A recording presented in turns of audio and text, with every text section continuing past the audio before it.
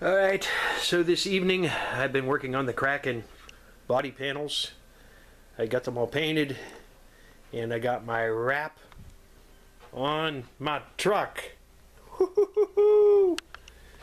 I've had this for a while. I've been working on these panels, cutting them out. I had them cut out and put them in a bag and I finally pulled them out the bag and Oh, that creature has stolen the space modulator. So I've always liked Marvin the Martian, so as you can tell, huh? So we got Marvin on here for my theme on my Kraken Vekta. And I got her ready to rock and roll. Come out really good. I'm I'm really impressed on how it come out.